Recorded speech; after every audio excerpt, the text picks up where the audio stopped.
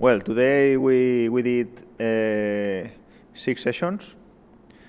And after this session, we do a race simulation.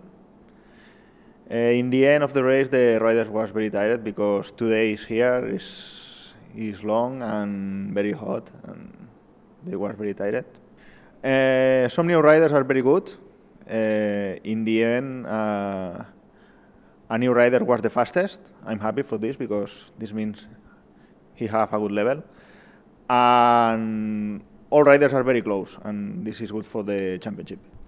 Well, the difference is in, in Qatar, uh, we have more fast corners, and we don't have many straights. It's all the time one corner, another corner, and they need do a, a good line, and here we have more straights.